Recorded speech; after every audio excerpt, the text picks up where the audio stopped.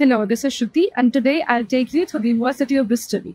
First stop, Wills Memorial Building, over 100 years old and one of the most iconic university buildings in the UK. Yes, you can have lectures literally in the castle. Then comes the Merchant Ventures Building, Engineering, tech, and maths thrive in here in cutting edge buildings like the Merchant Ventures building. There are also cafes, study sessions, study rooms, and also vacant spaces where you can just sit, sit and chill. Common areas, global lounge, SU, or study zones, you'll find a community here international, inclusive, and inspiring.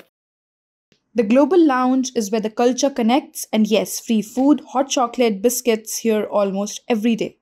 Then there's Fry Building for Mathematics, home to engineering, AI, and innovation. Engineering, maths, and tech thrive in here in cutting edge buildings like the Fry. From fitness classes to gym sessions, this is where you can stay active and take care of your physical and mental health right in the heart of the campus. Then comes the Queen's Building, which is the home to the engineers. With its large lecture halls, seminar rooms, and state of the art labs, this is where most engineering students spend their time from big lectures to smaller group tutorials, it's a hub of innovation and learning at the University of Bristol.